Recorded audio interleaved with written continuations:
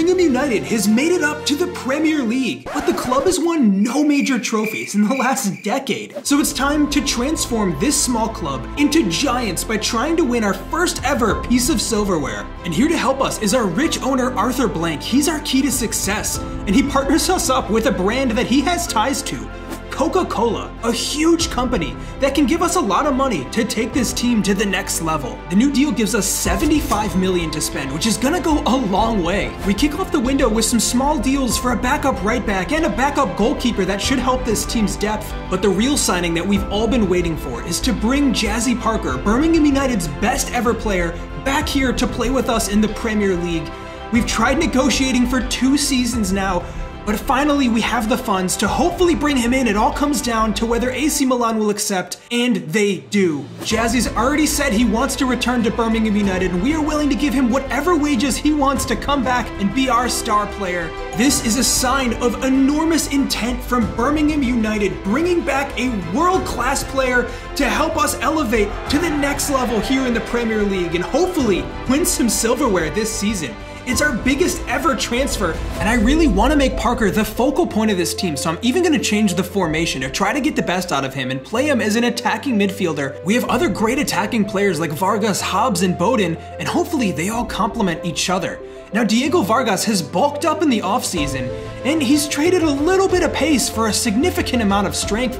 Hopefully, this will help him adapt even more to the Premier League this season. And I can't start the season either without mentioning Kareem Amraoui, who had a great loan last season, comes back at 75 overall. He's going to be our starting right back against rivals Aston Villa on game day one. Well, this is a period of true building for Birmingham United. Players like Diego Vargas and Jazzy Parker have come to try to take this team to the next level, and with young players like Kareem Amraoui looking to make an impact in the team, this season's going to be pivotal for us showing that we can grow into a top club and really compete with other teams for silverware at the highest level. But it might take some time for this team to gel. Kareem Amraoui, with a little mistake here late in the game, gives the ball away to Aston Villa in the box. Well, despite all the promise in the youth and the new signings, it hasn't quite clicked for us yet, and it might just take some time for us to start to get results this season. Now, just like last year, our message here is to be patient and give this team some time to gel. We've made a lot of changes, but I have a lot of belief in this side. Now, it wasn't a great first game for Kareem Amraoui, but we continue starting him, and I am putting full faith in our entire team.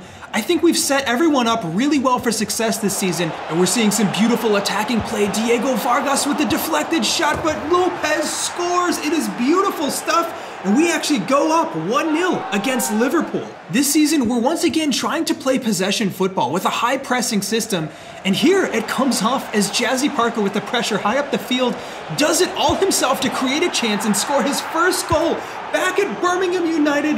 That is a sight that we have missed. So with the game on the line at 2-1 very late in the match, Diego Vargas showing off his newfound strength in the corner to shield the ball and maturely see this game out. That is a huge statement from Birmingham United with a win against one of the top clubs in the country. And as we go further into the season, it's clear our attacking force is something to be reckoned with. Jazzy Parker remains our talisman through this period, but he's supported by a lot of our other great players like Matthew Hobbs, who's been underrated and is setting up so many assists for his teammates as we continue to find success. And you can start to feel the responsibility on Jazzy Parker's shoulders. He's our best player by a landslide, and he's trying his best to drag this team to wins, but sometimes it's at the cost of being a little selfish, if I'm being honest. He has opportunities to pass to teammates, but instead, he's going for glory himself, and when it doesn't come off, it's leaving the other teammates frustrated and not feeling involved enough with the team. We're becoming a little dependent on our star player, and it's beginning to cost us points in games where he can't score because our defense is not always going to keep clean sheets. But after the first couple games in the Premier League, it's time for our first shot at a cup competition and possibly some silverware this season. The Carabao Cup is definitely the most winnable of all of our competitions this season, and we get off to a running start against Fulham with a really good performance where, predictably, Jazzy Parker scores the final goal of the game to seal the deal and see us through. Now, I'm holding out a lot of hope in that competition because in the Premier League, we're in 15th, and realistically, we're not going to challenge for much. And some of those problems that are starting to pop up in the squad are getting worse as the season goes on. Norwich City scored the opening goal against us here, and Jazzy Parker trying to take matters into his own hands is again being a little selfish and just trying to do too much on his own. It's leaving the rest of the team feeling frustrated and the chemistry starting to break down as the team that started the season really brightly is no longer performing to the same standards. And what started as Parker being a little selfish is spilling into the rest of the team because now they don't necessarily all trust each other to be passing the ball. And even Diego Vargas starts to look for a goal himself rather than pass the simple ball and really work as a team to score goals. It's becoming a bigger and bigger problem, and it seems like at the moment our attacking players are not necessarily trusting each other with the ball. But there are some team players still left in here. Kareem Amraoui plays through a beautiful ball from right back, and Jazzy Parker does still end up finding the goal that decides this game. I mean, there's simply no doubting this kid's talent. I think it's clear he is a world class player and despite maybe not playing the best as a team, Parker is scoring boatloads of goals, and even in the Premier League, it's dragging us to at least some standard of success. But as we've seen in the past, relying too much on one player is not only not good for the team, it leaves us pretty much one injury away from being a shadow of the team that we are at the moment. And as Vargas and Parker continue to go back and forth, not passing to each other and trying to be the star of the show, it's clear that we need to step in and prevent this from going any further. Now we're hanging around 16th place, which is not good enough considering the talent we have. So I have a talk with the squad and make it clear, no one player is above the team, and from now on, any selfish behavior is gonna result in being benched. We have to work together to find success. I mean, it's clear Jazzy Parker came in with big expectations and he's trying to fulfill the role of star player in this team, but him and Vargas have to listen to us because we're simply not getting the best of the rest of our players, like Matthew Hobbs, who still has yet to score a goal as our starting striker this season, but we stick with our player and hopefully the team will look a little more united now. We laid out an ultimatum and anybody who's not following our team play and tactics is gonna be benched. But we're immediately seeing better from this team as Diego Vargas and Jazzy Parker, the two players I was specifically trying to motivate, link up for the first goal, and then Jazzy Parker driving through midfield is finally looking for teammates and looking to link up the rest of the play as Kareem Amraoui sets up the captain, Matthew Hobbs, for his first goal of the season. That was a long time coming, and it's a sign that I think we're finally improving. And you can't write this. The semifinals of the Carabao Cup, we take on our rivals, Birmingham City. They were relegated last season, and we are finally getting the chance to play them again.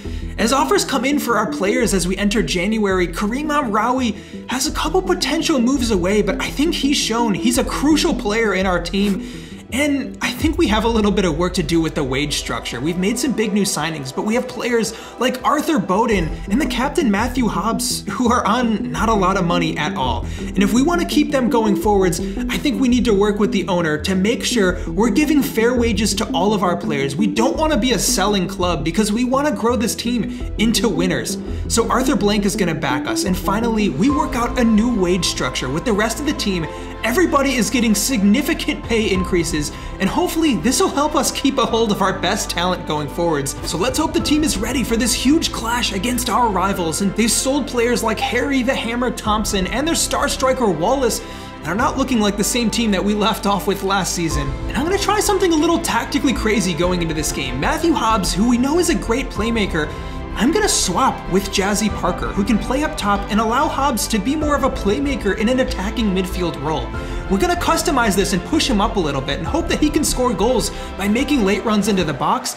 I think this just might suit him a little bit better though, and Hobbs pulling the strings from midfield early in this game as Amraoui looks for the ball in. I do hope this decision pays off because like I said, it's a bit of a crazy one, but we're looking pretty in control here early in the game as Amraoui sets up Lopez, who hits a perfect strike into the back of the net, and the team is playing so well together. Amraoui has had an absolute breakthrough season here as a playmaking right back. Will we see some late drama here as Birmingham United are desperate to find a goal to tie things up with only one or two minutes remaining in this match, and Arthur Bowden always has that pace to him, and off the counter attack, he is sprinting by the defense. This could be a chance, and Arthur Bowden capitalizes on that and ends things 2 0. A closer game than we would have liked, but Thankfully, I think our new tactics have paid off, and it's enough to see us through. We have our first cup final in the Carabao Cup against Wolverhampton Wanderers next.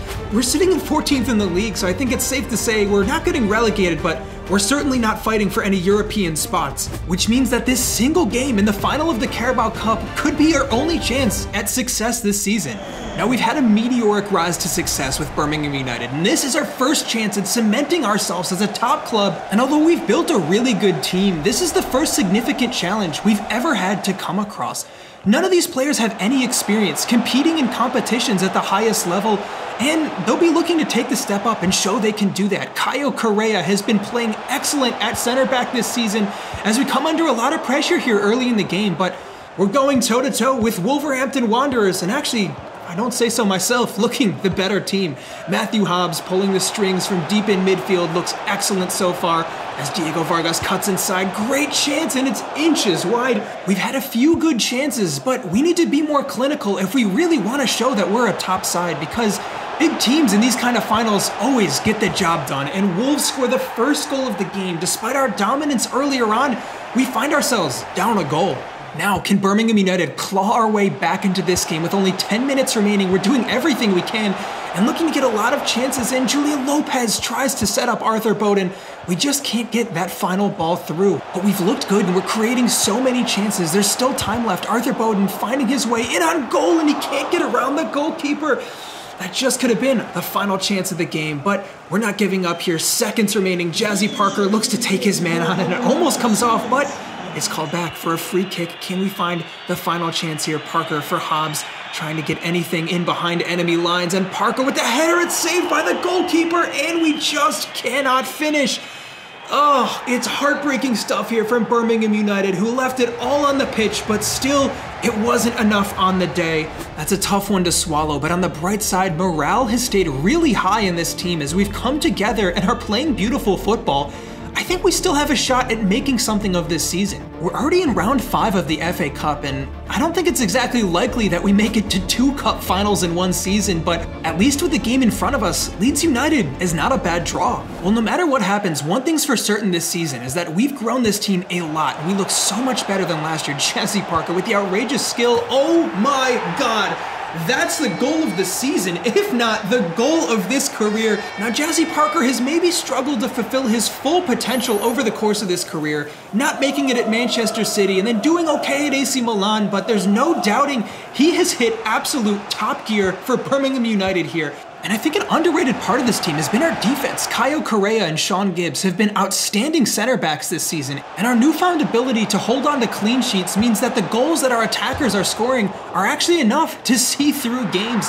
And the captain, Matthew Hobbs, is absolutely excelling at this new attacking midfield role. He's actually scoring a lot more than he ever did up top, which is surprising, but hey, we'll take it. As we march on in the FA Cup, we've made it to the quarterfinals, and guys, with Newport County, our next opponents, I think there's a good chance we go through to the next round again. And that's pretty much exactly what happens. We're just too athletic for this team. Arthur Bowden makes it look easy with a run in behind for the only goal of the game. We just keep marching on. And at this point, I cannot believe our luck. The semifinals are against Huddersfield. No disrespect to them, but there's a lot more difficult sides that we could have come across in this FA Cup run.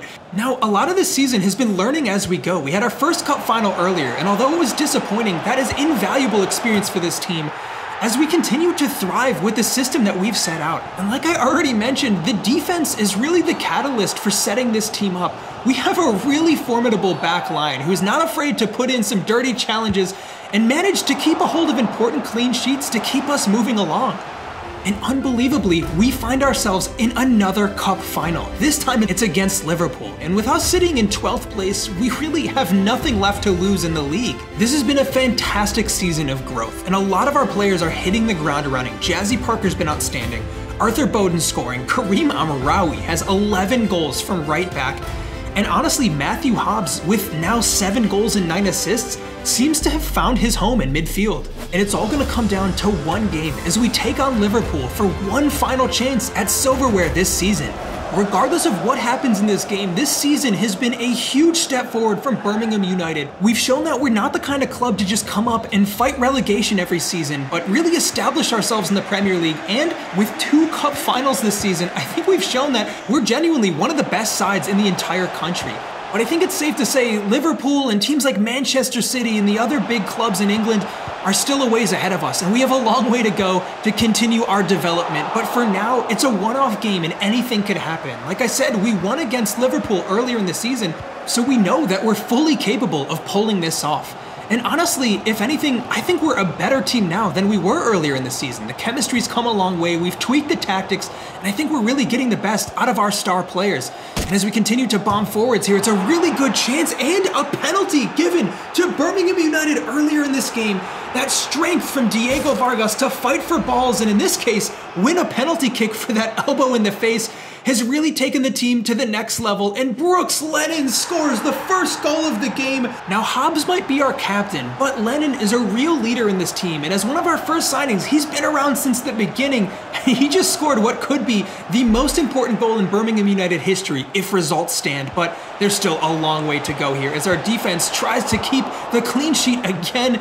This is going to be a big ask, though. We're throwing bodies on the line, and at least not falling under the pressure just yet, but we have some real nervy moments here at the back. But we see things through to halftime, and we're in really good shape. 45 minutes left to play, and we are in the commanding position of the game. We just have one more half of football to get through, and this could be the biggest achievement in Birmingham United history. But let's not take anything for granted.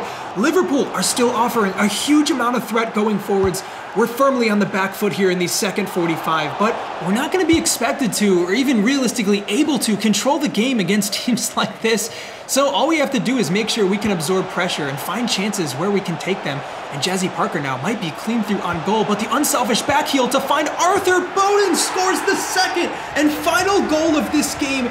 This team has evolved so much. Jazzy Parker went from coming in and being a little selfish to really contributing at a team level and seeing us through to our first ever piece of silverware. And if you guys want to play with the team yourselves, the mod is now free on my Patreon, link in the description. You can also just subscribe to the Patreon to help support the channel. I'll have some cool stuff coming for EAFC 24, so I'll be back soon with the next episode, but until then, thanks for watching, I'll see you next time.